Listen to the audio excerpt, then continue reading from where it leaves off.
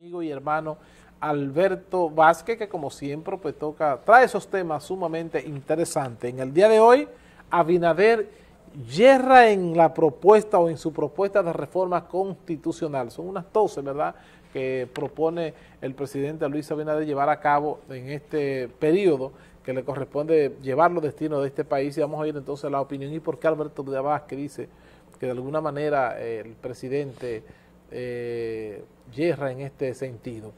Pero antes de presentar y dar la bienvenida a nuestro querido Alberto Vázquez, pues yo quiero recordarle que la planificación es parte de la vida. Y es por eso que llega a San Francisco de Macorís el Parque Cementerio Privado Fuente de Luz Memorial Service, que es un lugar lleno de paz y luz, donde esa despedida a su ser querido pues lo va a permitir que sea menos difícil. Recuerda que en el Parque Cementerio Fuente de Luz eh, Memorial Service, usted va a obtener múltiples beneficios y todos nuestros servicios son personalizados y los precios acorde con tu presupuesto. Aquí te ofrecemos mantenimiento a su propiedad, vigilancia a las 24 horas, inhumación y despedida, además de carpas, sillas, mesas y todo cuanto necesite en ese momento que tiene la que despedir a tus seres queridos. Para mayor información, contáctanos al 809 725 1515 y uno de nuestros asesores de familia con mucho gusto te atenderá. Parque Cementerio Privado Fuente de Luz Memorial Service en San Francisco de Macorís. Saludamos una vez más, como cada martes, le damos la bienvenida a nuestro compañero Alberto Vázquez. Saludos Alberto, bienvenido. Víctor, saludos, Emanuel, saludos. Saludos Alberto. Saludos, saludos, saludos amigos, saludos amigas. Alberto, este tema, ¿verdad?, que ha despertado mucho interés en la vida nacional y son estas propuestas que tiene previsto llevar a cabo el presidente de la República, donde y veo que eh, usted eh, dice que eh, tal vez no está de acuerdo, ¿verdad?, con alguna de las propuestas que tiene previsto llevar a cabo el presidente de la República. Quisiéramos saber por qué tiene Alberto esa percepción con respecto a esta acción del presidente. Bien. Víctor, mira, si observa, nosotros le hacemos una crítica a la propuesta de reforma constitucional. ¿Qué trae Abinader al gobierno? Usted le puede preguntar al pueblo dominicano, ¿cuál fue el principal error de Danilo Medina? Intentar una reforma constitucional a su medida.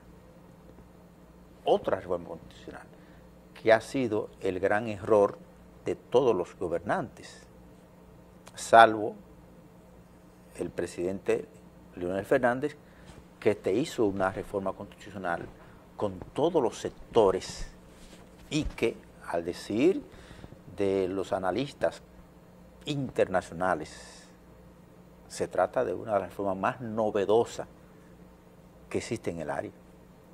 O sea, no se trata de una reforma profunda pero, ¿qué, ¿cuál fue el principal elemento para que Abinader hoy fuera presidente? El intento de reformar de nuevo la Constitución. O sea, el pueblo le tiene miedo a los intentos de modificar la Constitución por el temor de querer acomodarla. Y cuando nosotros hablamos de que el presidente yerra, nos referimos básicamente en su planteamiento de reforma a la Constitución.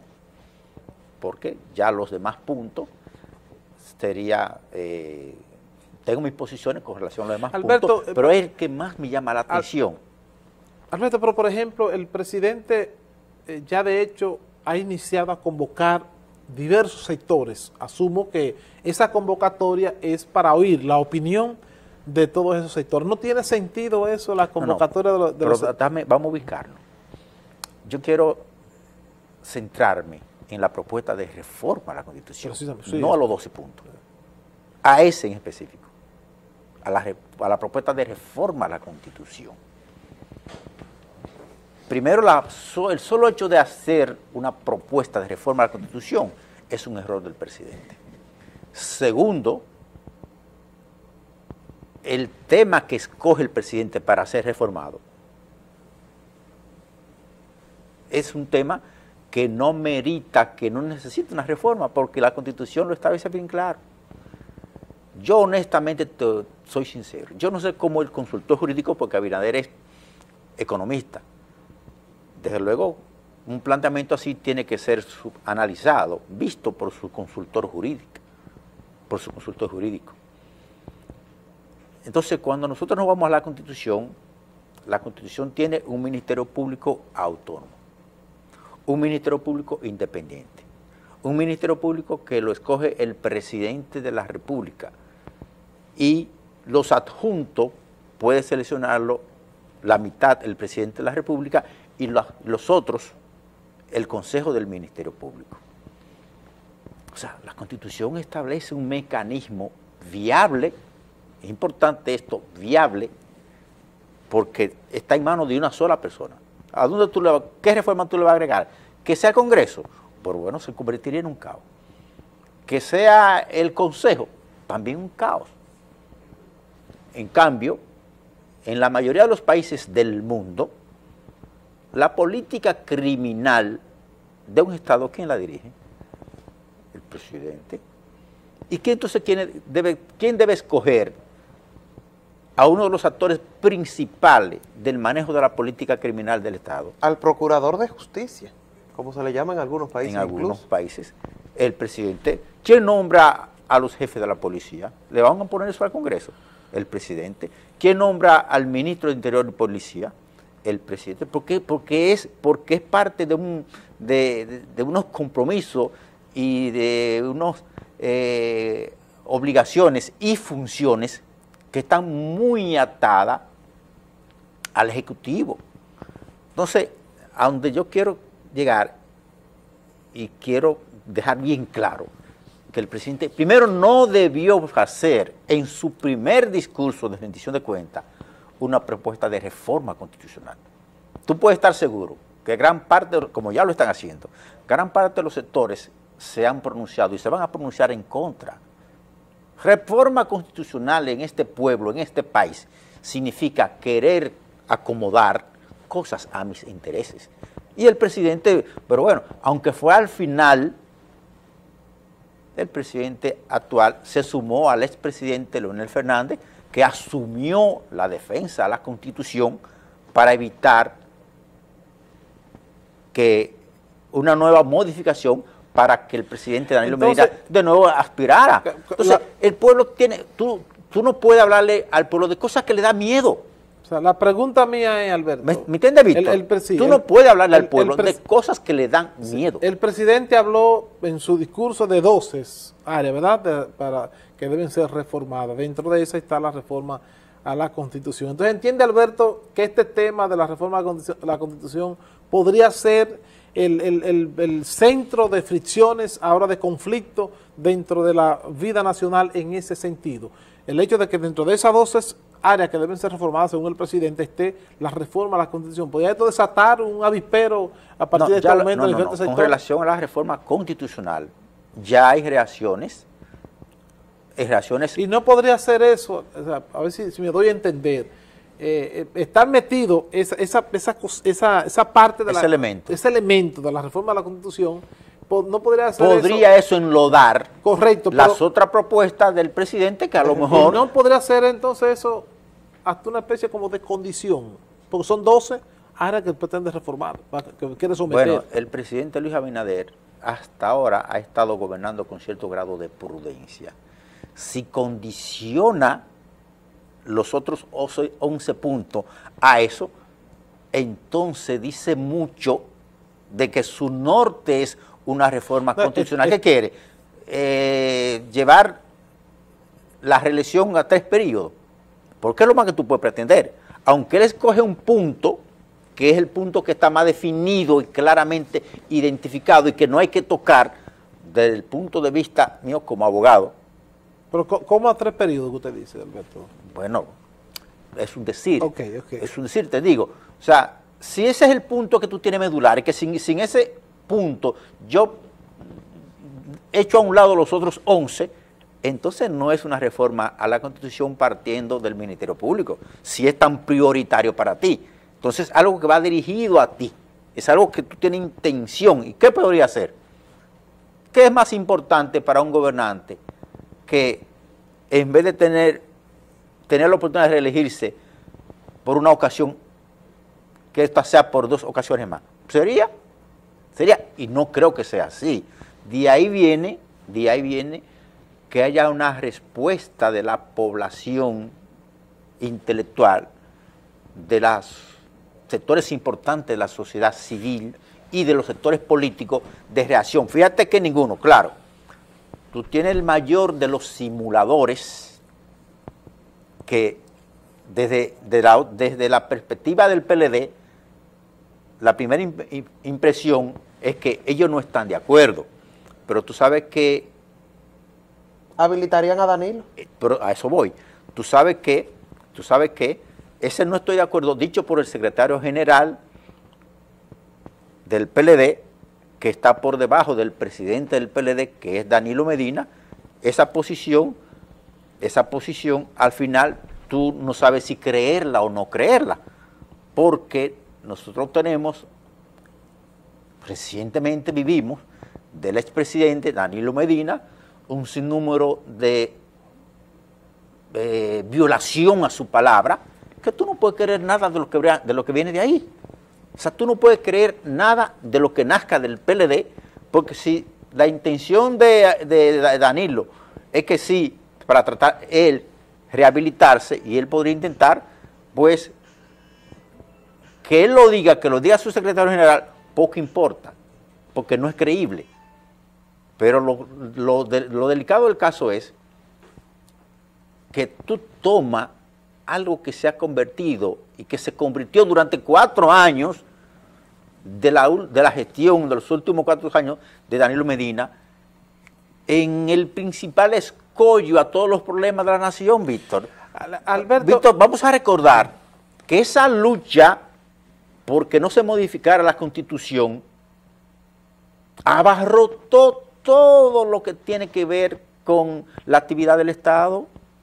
Alberto, y eh, la pregunta mía es, ese diálogo, esa convocatoria a los diversos sectores de la vida nacional, ¿no se supone que de ahí es que va a salir los resultados de, la, de la real propuesta que se vaya a hacer a las diversas reformas que propone el presidente de la República? ¿O ese diálogo eh, tiene o no tiene sentido? Bueno, mira... El ¿O se va predispuesto a ese diálogo? Si mal no recuerdo, el presidente se concentró, habló de 12 puntos. Los 12 puntos no están tan definidos. Él se refirió ¿Lo que número? Sí, y pero, pero eh, ya esos 12 puntos esos 12 puntos tendría que, no solamente ponerle nombre y apellido, sino ponerle meta, sentido. Por ejemplo, el presidente Luis Abinader dice, vamos a reformar, la Constitución en torno para hacer un Ministerio Público fuerte. Claro, en el discurso no había forma de entrar en detalle. ¿De qué forma tú lo vas a poner fuerte? Qué es lo que le falta al Ministerio Público. porque esos detalles asumo vienen ahora, ya eso pasa vienen expertos a hablar eso de pasa con los demás 11 puntos, por lo que uno desconoce que en sí quiere el presidente con los demás puntos. De ahí es que yo digo que el presidente no debió hablar de reforma porque eso ya enloda. Pero yo digo, en ese sentido, por eso que yo estoy importantizando al, en la búsqueda de consenso del presidente, porque si en eso es diálogo, asumo, estuviese Alberto Vázquez, lo primero que va a decir en el primer encuentro, yo entiendo que, estoy de acuerdo 100% con los, de los 12 puntos, con los 11, pero no estoy de acuerdo con que se, toque la bueno, pero observa que el presidente Leonel Fernández en su intervención de ayer dejó claro, dejó claro que no estaría de acuerdo con una reforma constitucional. Entonces, y, no solamente por, y no solamente por el tema del Ministerio Público, sino porque, bueno, por yo te voy a decir algo. No sé si ustedes tuvieron la oportunidad de ver una declaración del presidente del Tribunal Constitucional. Yo, la vi, sí, la Pero Alberto, Óyeme. sí, pero precisamente por eso es que yo digo, y sigo insistiendo, en la búsqueda del consenso, así como dice el presidente Fernández, por ejemplo, cuando se convoca ese diálogo, eh, van a surgir de, 60 personas, diferentes sectores que participen, van a surgir, por ejemplo, 50, que van a decir, no, eh, yo estoy de acuerdo con los, con los esos, esas 11, de las 12 propuestas, en estas 11 áreas sí se puede la, la reforma. Ahora, no estamos de acuerdo que se toque la Constitución. Yo creo que automáticamente el hecho de que si es buscando consenso que esté, y si no hay un consenso para tocar la Constitución, pues yo creo que se cae por sí solo. no entonces, no tiene, Víctor, perdón, Víctor, no tiene por qué caerse. Porque si tú de, 11, de 12 puntos encuentras que la mayoría no está de acuerdo con uno, entonces no tiene por qué caerse, pues entonces la intención tuya no era ver los 12 puntos, la intención tuya es ese punto. No, no, Alberto, no sé si me, no, me doy, no me doy a entender. bueno, yo creo que están en el, en el, en el debate de, del consenso y, y, hay cosas que quizá van más, más, allá de ese consenso, porque es bien sabido que quizá ese consenso no van a convocar a todo el mundo, no van a llevar a un Víctor, quizá a un Alberto, sino a personas que estén de acuerdo o que estén predispuestas, puede ser, no sabemos lo que allí pase, uno prejuzgando también. Pero entiendo que hay que dejarle eso un poquito al tiempo, a que se vea quiénes serán los que van a, si ese consenso realmente llegará. Ya, se, comenzó a, claro, ya, se comenzó a hacer invitaciones. A los sectores que están representados. Primero a los partidos políticos. Sí, los partidos políticos, claro. La mayoría, por no decir todos, de los partidos políticos rechazan tocar la Constitución. Lo que yo veo más viable de las 12 reformas que él dio fue la reforma constitucional. ¿Por qué? Porque aquí es más fácil reformar la Constitución que cualquier otra ley. Si no, tome de ejemplo el Código Penal, que tiene 20 años dando vuelta en el Congreso, sin embargo, en esos mismos 20 años se ha reformado cuatro veces la Constitución. Sí, bueno, pero es un, es un, eso, eso, es una forma irónica que tú lo dices. Sí, digo que la, exactamente. Es la más viable, Para mí es la más viable, más la más viable, pero nosotros debemos eh, siempre eh, criticar la reforma de la Constitución por, por reformarla. Para, ¿Qué decía el presidente del Tribunal Constitucional? Tú tienes que tener cuenta con la reforma de la Constitución.